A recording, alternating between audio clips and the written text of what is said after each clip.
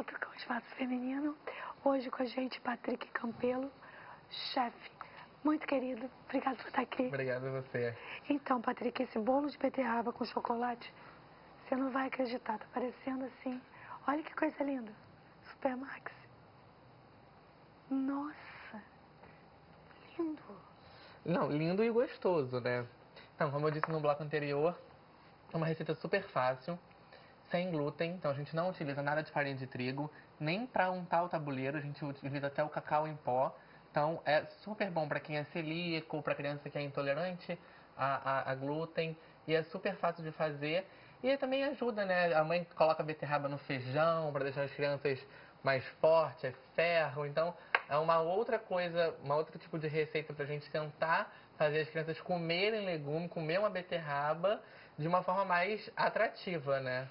Você disse assim, é bonito. Eu falei que era bonito, você falou bonito, mas e também... bonito e também gostoso. É gostoso. Agora, porque a gente come um pouco com os olhos, né? Come, a claro. A gente vai...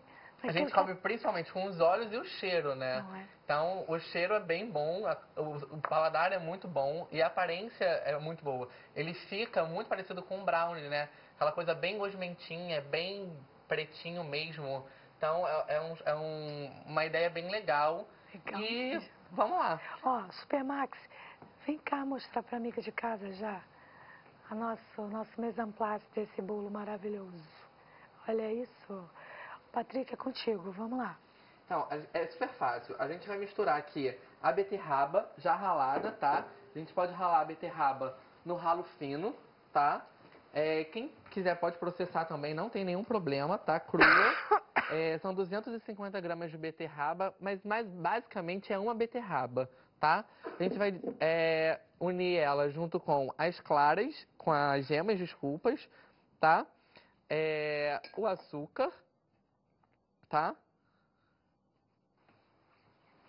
A gente vai misturar aqui um pouquinho. É super fácil, não precisa fazer força, dá para as crianças fazerem tranquilamente, só pedir para ajuda dos pais para colocar no forno. Então não tem muito mistério. Já aqui ficando tudo homogêneo, tá? A gente vai dar prosseguimento adicionando o chocolate é, meio amargo já derretido a essa massa, tá?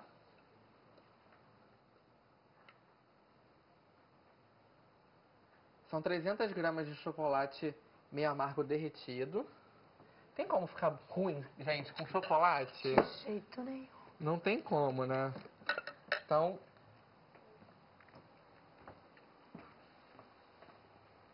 A gente agora vai adicionar também o fermento em pó, tá? E a castanha, é, as amêndoas moídas, tá? Quem não tiver amêndoa, pode colocar avelã, pode colocar castanha, não tem nenhum problema, tá?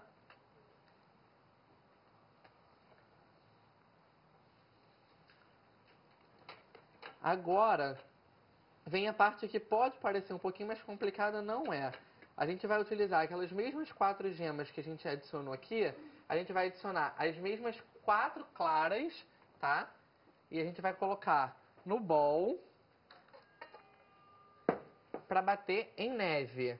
Qual é o segredo da, da clara em neve, gente? É quando ela estiver em pico bem firme, que você consiga virar o bowl de cabeça para baixo e a clara não cair, tá? Então, tenha um pouquinho de cuidado, mas quando ela conseguir virar e ela não cair, é porque está no ponto certinho, tá? Então, vamos lá.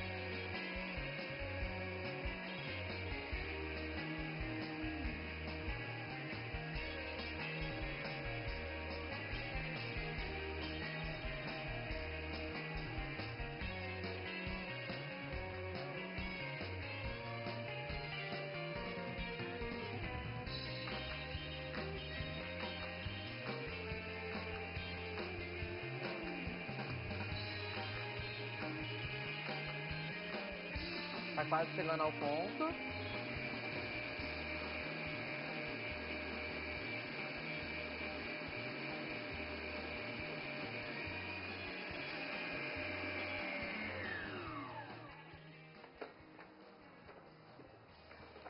Pronto. Tá? Então a gente tem a clara em neve sem cair. Tá? É, Agora eu vou deixar já aqui para untar aqui o nosso tabuleiro, tá? A gente pode utilizar um pouquinho de azeite. Vou passar aqui pra gente untar. Quem quiser também pode usar um papel manteiga ou até mesmo um papel toalha, que ele não gruda no fundo.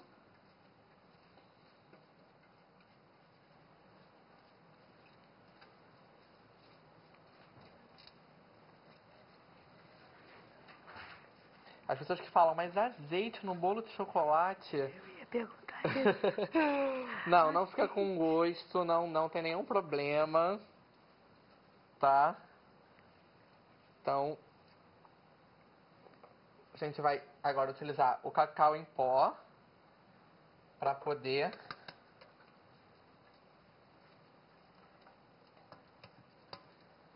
É somente para não grudar mesmo, tá?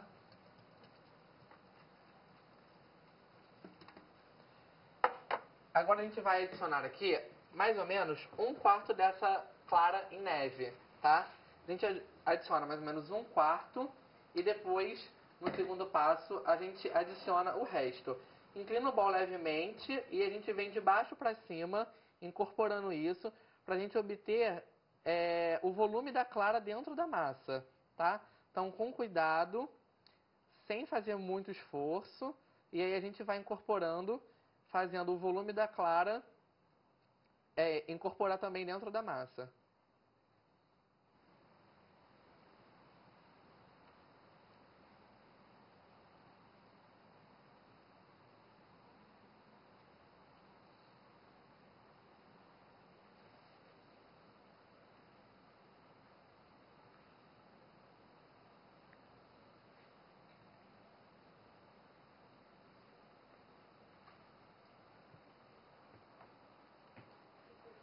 Vamos adicionar o restante da neve.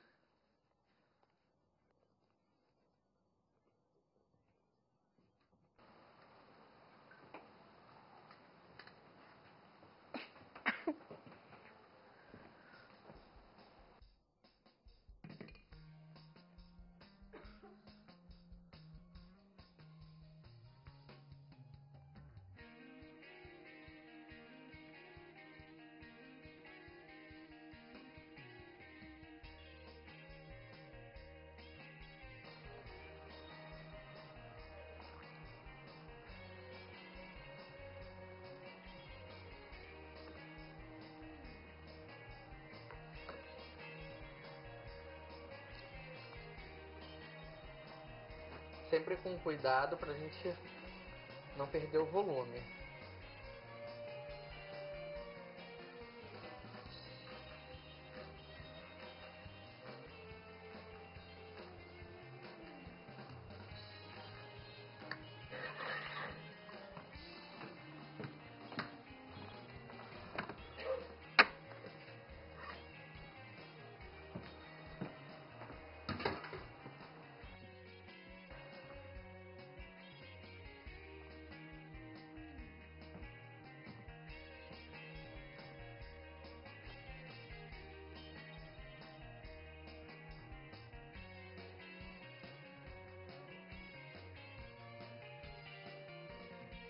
Assim que a gente não tiver mais clara nenhuma, tá? A gente está chegando aqui já no processo final. Assim que a gente não encontrar mais clara nenhuma, aparente, tiver tudo bem homogêneo, aí a massa está pronta e agora sim a gente pode levar para o tabuleiro e assar em forno pré-aquecido 180 graus. Mais ou menos uns 20 minutinhos ele já está pronto, tá? Então,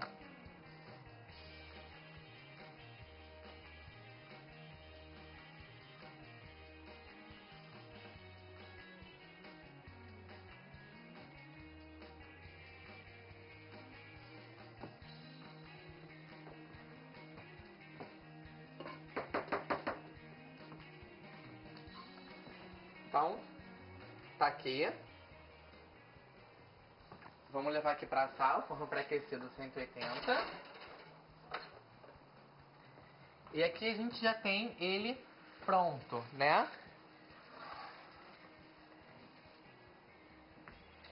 Então, pra vocês verem como é que ele fica, ele fica com uma casquinha em cima bem parecida com a do brownie, né? Essa coisa meio craqueladinha, que é uma característica do brownie. É, eu vou cortar aqui um pedaço pra vocês verem, tá?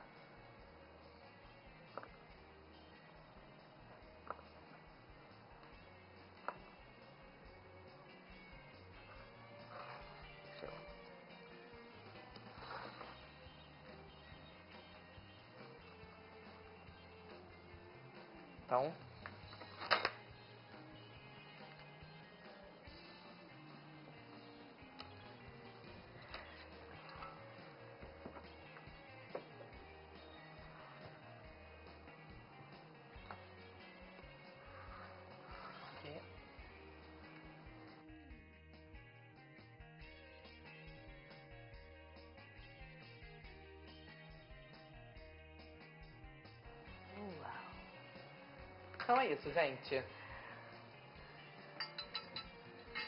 Chefe Patrick Campelo hoje com a gente no nosso espaço. Tudo tipo, meu Deus, ficou lindo, maravilhoso. E ele assim, me poupou demais. Você faz o seguinte, ela tá querendo saber cada ingrediente que ela vai precisar colocar nesse bolo, para poder fazer o bolo. Diz pra ela então. Vamos lá então. Ingrediente: azeite de oliva, que a gente utilizou para untar o tabuleiro, né? 300 gramas de chocolate meio amargo é, derretido, tá? 250 gramas de beterraba crua ralada ou processada, 4 ovos grandes, 150 gramas de açúcar refinado, 120 gramas de amêndoa moída, é, uma colher de chá de fermento em pó e 4 colheres de sopa, mais ou menos, de cacau em pó para a gente também estar utilizando para untar o tabuleiro. Eu também trouxe para vocês uma receita hoje é, da calda. Eu vou fazer agora, a calda é 300 gramas também de chocolate meio amargo e 100 ml de creme de leite, tá? É bem fácil, eu vou mostrar pra vocês, tá? É, a gente já tem aqui, a gente já tem aqui o chocolate é, meio amargo derretido e o creme de leite, tá?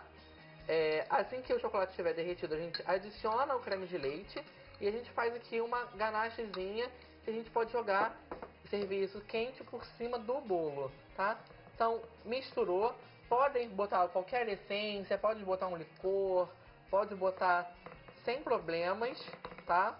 Então, vocês podem também utilizar essa calda para outros tipos de bolo, tipo bolo de cenoura. É bem prático. Fica com um brilho maravilhoso por conta da gordura do creme de leite. Tá? E aí...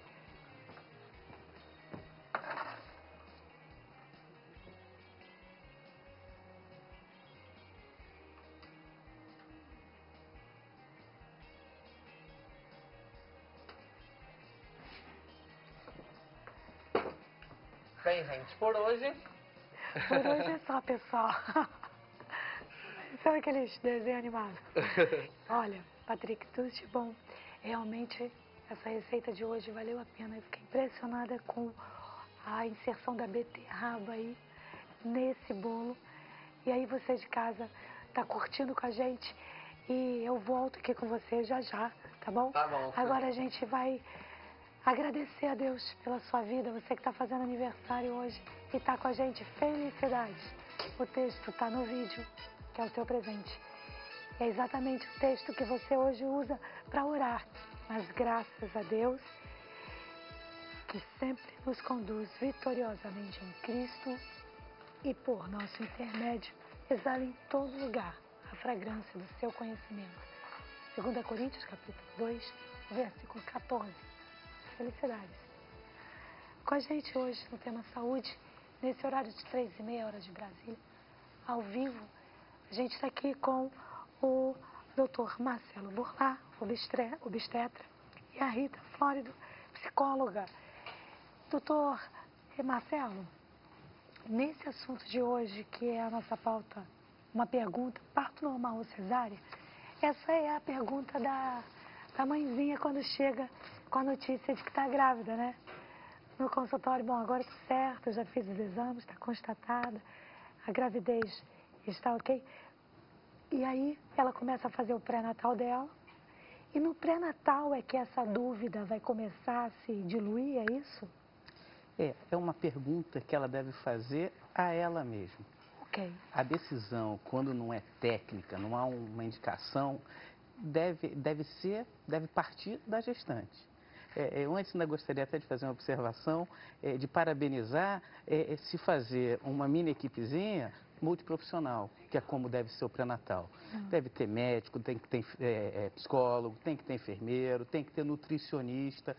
É a melhor abordagem. Qualquer pré-natal que não seja multiprofissional está sendo um pouquinho deficitário. E, e, e essa, essas, é, dirimir essas dúvidas cabe ao médico, cabe ao enfermeiro quando ele está fazendo um pré-natal, né, apesar da presença de médico, que é muito importante, mas nós temos que dar informações e a decisão da via de parto, isso cabe à gestante. Ela tem que ter o direito a optar por um parto normal vaginal, quando assim o desejar, e tem que ter assegurado também o direito de ter um parto cesariano, se ela assim o desejar. Qual é o nosso papel? Informar riscos, vantagens e dificuldades de cada uma das duas formas. Legal. Agora, é, Rita, o papel é, desse, desse acompanhamento psicológico também é super válido, não é? Porque existem, nesse momento, não é? Você é mãe, eu também Acabei sou. De ser avó. Pois é, gente. Então, muitas dúvidas permeiam esse momento. É. E esse amparo, esse acolhimento psicológico é fundamental. Sim. É, muito importante quando pode ser é, feito esse acompanhamento realmente com vários profissionais que podem realmente abarcar todos os aspectos né, suscitados nesse momento. Um momento de vida, né, não é um momento de doença, a princípio. Né? E, normalmente, assim, em termos de consultório, ninguém vai a psicóloga, ah, vou ao psicólogo para ter um acompanhamento na minha gravidez. É quase impossível. Quando começa no meio do caminho dar algum enguiço, é que se procura. Né? Mas, normalmente, a gestação cheia de expectativas, cheia de coisas novas, e aí daqui a pouco o bebê mexeu, e daqui a pouco, né? A decisão, sim, acho que o doutor Marcelo falou muito bem, é importante que seja da gestante, né, da mãe, é, porque o corpo é dela ah. e o filho é dela, né? É, é, importante que ela realmente se sinta à vontade de escolher por um ou por outro, mas ou por um ou por outro, por, pelo outro, o importante é que ela possa ter apoio total, especialmente da família. Isso era uma coisa que eu gostaria de frisar muito hoje aqui, porque muitas pessoas acham que é uma coisa normal, né? Ah, todo mundo tem filho, então é uma... mas tudo dentro da gestação e do, depois né, do puerpério é, traz mudanças hormonais, né? traz mudanças psíquicas. Na verdade, a, ter um bebê é tido como uma crise dentro do desenvolvimento do ciclo normal. É uma, é uma crise normal, mas é uma crise que pode ir muito bem ou pode ir muito mal. Né? Por isso, é, a gente aqui pensou nesse, nesse amparo psicológico também, nesse lugar onde se observa a nutrição como relevante, não é? nesse momento, nessa fase quando se observa que ah, todo o contexto em que a grávida vive é relevante. É claro que, como você colocou, né, nenhuma grávida, é, sabendo desse momento, diz assim, ah, eu vou precisar de um psicólogo. É óbvio que não, mas a gente sabe que em algum momento, sabendo que é preciso, que é necessário, nesse período, que você não deixe de buscar a ajuda que você precisa. é legal, se é possível, recorra mesmo. A gente vai continuar esse bate-papo bem bacana aqui sobre parto normal ou cesariana nesse tema saúde do espaço feminino. Voltamos já já.